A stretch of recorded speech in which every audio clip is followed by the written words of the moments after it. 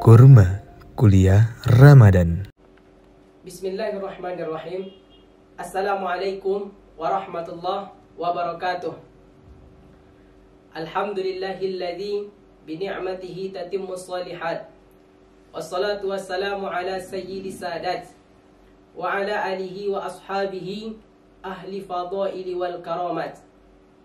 Ashhadu an la ilaha illallah Wa ashhadu anna muhammadan abduhu wa rasuluh la nabiyya ba'dah Allahumma fasalli wa sallim wa barik ala sayyidina Muhammad wa ala alihi wa sahbihi ajma'in amma ba'du فقال الله تعالى في القرآن الكريم وهو أصدق القائلين أعوذ بالله من الشيطان الرجيم بسم الله الرحمن الرحيم يا أيها الذين آمنوا كتب عليكم الصيام كما كتب على الذين من قبلكم لعلكم تتقون. وقال رسول الله صلى الله عليه وسلم في الكتاب الحديث يا أيها الناس أفسوا السلام وأطعموا الطعام وصلوا الأرحام. wasallu bil laili wan nasu niyam. Tadkhulul jannata bisalam. Sadaqallahu al azim. Wa sadaqa rasuluhul karim. Wa nahnu ala dhalika min asyahidin wa syakirin. Hadirin kaum muslimin yang dimuliakan oleh Allah subhanahu wa ta'ala. Syukur kita kepada Allah subhanahu wa ta'ala atas segala limpahan rahmat karunia Allah masih memberikan kepada kita nikmat yang sangat luar biasa yaitu nikmat iman dan Islam. Kemudian selawat kita kepada Nabi yang mulia yakni Nabi besar kita Nabi Muhammad sallallahu alaihi wasallam. Al-bakhilu man zukirtum indahu falam yusalli alayya. Sekikir-kikir umatku ketika dia menyebut namaku, dia tak mau berselawat kepadaku. Itulah orang yang paling kikir. Rasulullah tak menyebutkan orang yang paling kikir itu orang yang tak mau menginfakkan hartanya, tetapi orang yang ketika mendengar nama Nabi Muhammad tak tersentuh hatinya untuk mengucapkan Allahumma salli wa sallim wa barik ala sayyidina Muhammad wa ala alihi wa sahbihi ajma'in. Kita tahu bahwasanya bulan Ramadan merupakan bulan yang agung dan bulan yang mulia. Bulan di mana Allah menurunkan Al-Qur'an. Bulan di mana ketika kita melaksanakan amal satu ibadah, maka ibadah tersebut dilipat gandakan oleh Allah Subhanahu wa taala. Walaupun hina dalam pandangan mata manusia, tetapi itu semua bernilai ibadah di hadapan Allah Subhanahu wa taala. Sebagaimana yang saya sampaikan pada awal mukaddimah tadi, saya menjelaskan tentang sebuah hadis Rasulullah Shallallahu alaihi wasallam yang dinukilkan di dalam kitab Bulughul Maram. Di sana diterangkan bahwasanya Nabi kita Muhammad sallallahu alaihi wasallam bersabda Ya ayyuhan nas wahai sekalian manusia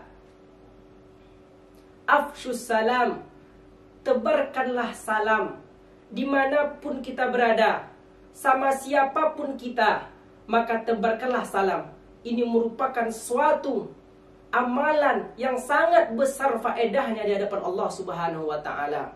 Maka jangan kita merasa malu ketika kita ingin mengucapkan salam terhadap teman kita, saudara kita, baik kita lewat ataupun berjalan di hadapan mereka, maka ucapkanlah salam. Ini salah satu amalan yang sangat dianjurkan oleh Rasulullah Sallallahu Alaihi Wasallam. Apalagi ketika kita memulainya terlebih dahulu, ini yang lebih baiknya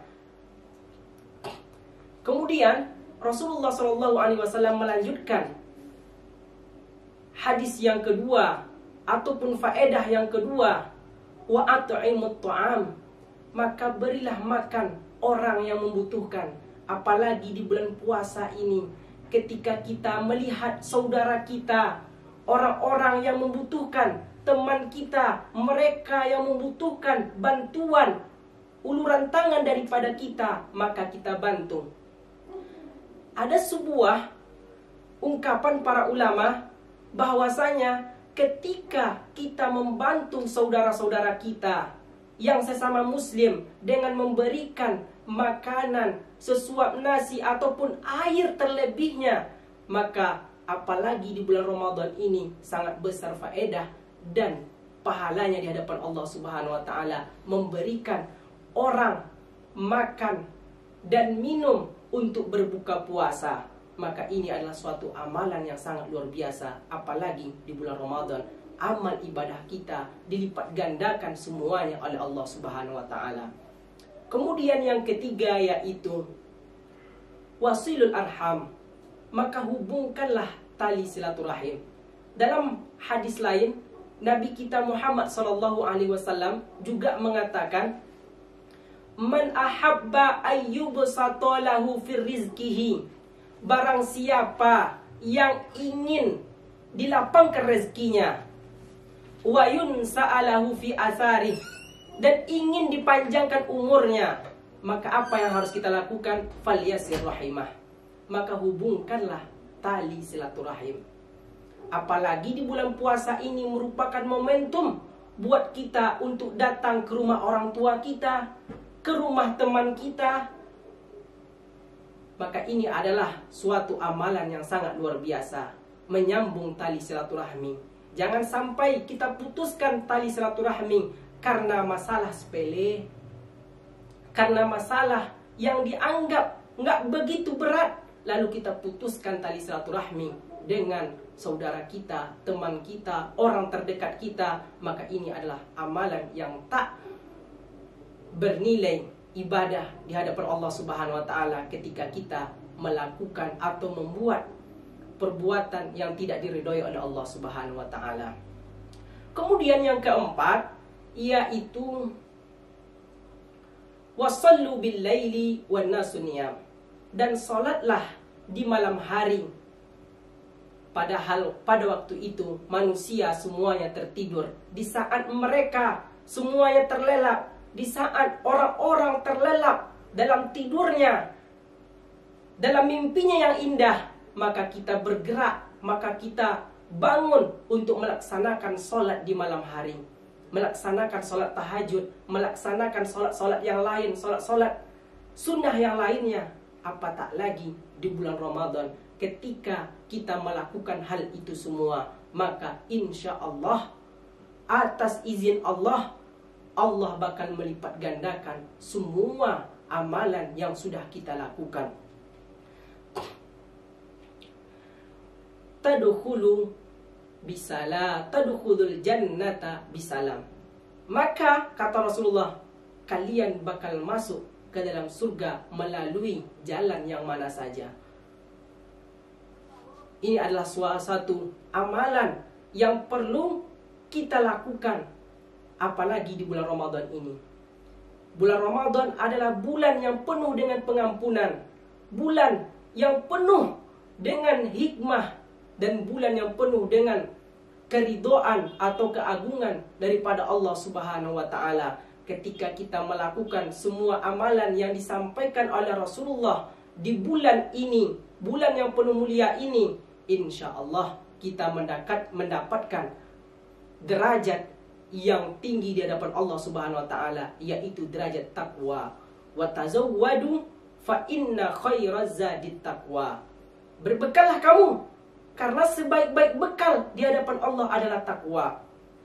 Maka Rasulullah juga menyampaikan dalam sebuah hadisnya, "Kam min shaimin laisa lahu min siyamihi illal ju'a wal atas."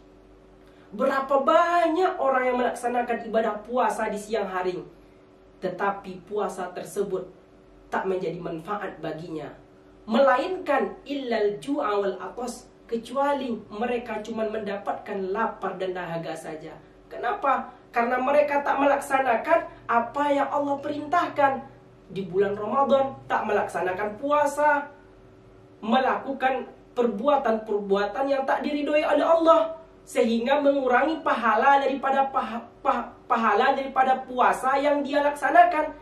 Ini salah satunya menghilangkan daripada amalan puasa itu sendiri, menghilangkan derajat ketinggian pahala itu sendiri, pahala puasa itu sendiri. Maka jangan sampai di bulan yang mulia ini kita meninggalkan amalan-amalan yang dianjurkan di bulan Ramadan ini seperti kita membaca Al-Qur'an,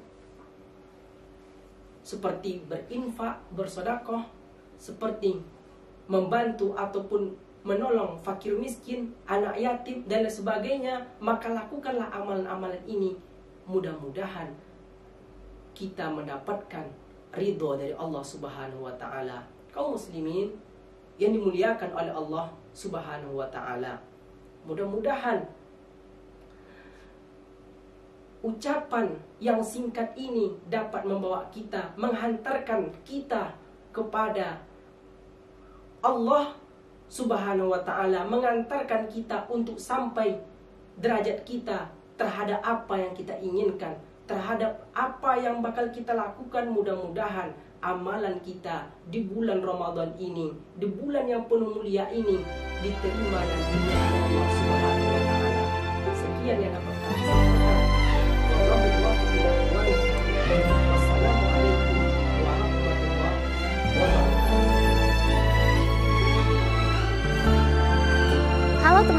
cincin dan puan-puan, mari berinfak di Takaful KSMR. Jangan lupa ya.